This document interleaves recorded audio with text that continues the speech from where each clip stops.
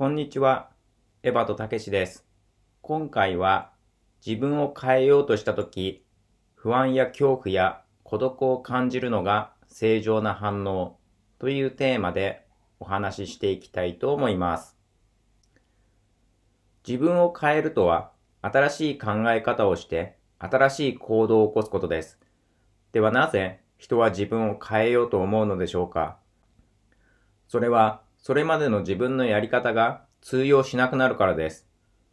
これまでは自信がなくても、なんとかやってこれました。でも、これからは自信をつけないと、どんどん苦しくなっていくかもしれない。今までは嫌なことを耐えていれば、なんとかなりました。でも、もうこれ以上嫌なことに耐えることはできません。となった時、自分を変えようと思います。自信がなくても大丈夫という考え方を自信があった方がいいに変えて自信をつけるための行動を起こす、自信を持って行動するという新しいことを始めるのが自分を変えるということです。嫌なことでも我慢するべきだという考え方を嫌なことに耐え続けると病気になるからやめた方がいいに変えて嫌なことをやめるための行動を起こしていくことが自分を変えるということです。自分を変えるとは今までの自分を捨てるということです。私はこのやり方でこれまで生き延びることができましたという自分の武器を捨てるということです。自分を変えるとは、これがあったからこれまで自分を守ることができましたという心の拠り所を捨てるということです。だから自分を変えようとするとものすごく怖くなります。私はこの浮き輪があったから海の中でも死なずに済みました。でもこれからは泳げるようになりたいので、この浮き輪を捨てます。と思ったら、とても怖くなります。新しい考え方を身につけて、新しい行動を起こすというのは、基本的には怖いことです。だから、できれば変わりたくありません。となるのは当然のことです。変わることに恐怖を感じるのは正常な反応なので、そんな自分をダメだと責める必要はありません。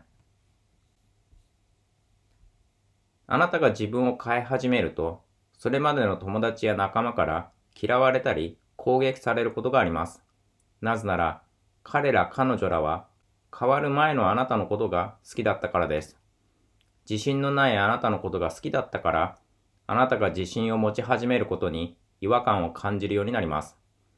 嫌なことに耐え続けるあなたを好きだった人たちは、あなたが嫌なことを嫌だと言い始めることで、あなたのことを好きではなくなってきます。どうか私の好きだったあなたに戻ってください。自信のないあなたに戻ってください。嫌なことを押し付けられても何一つ文句を言わないあなたに戻ってください。と求めてくるようになります。そのような人たちの中には、最近ちょっと生意気になったんじゃないの？あんまり調子に乗っていると痛い目に遭うよ。と脅してくる人がいたりします。なんか新興宗教でも始めたんじゃないの？頭がおかしくなったんじゃないの？と警戒し、あなたから距離を取る人が出てきます。自分を変え始めると、自分の周りから人がいなくなり、孤独を感じるようになります。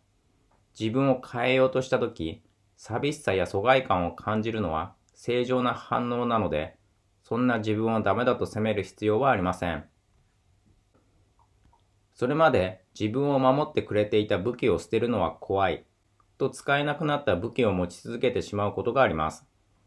その武器はもう自分を守ってくれない。むしろその武器を持ち続けることで自分が傷つくことが多くなると分かっているのになかなか古い武器を捨てられない時があります。古い武器にしがみつくことで新しい武器をつかみ取ることができなくなります。新しい武器をつかみ取るためには古い武器を手放す必要があります。古い武器を捨てると心の支えがなくなるので、しばらくの間不安な状態が続きます。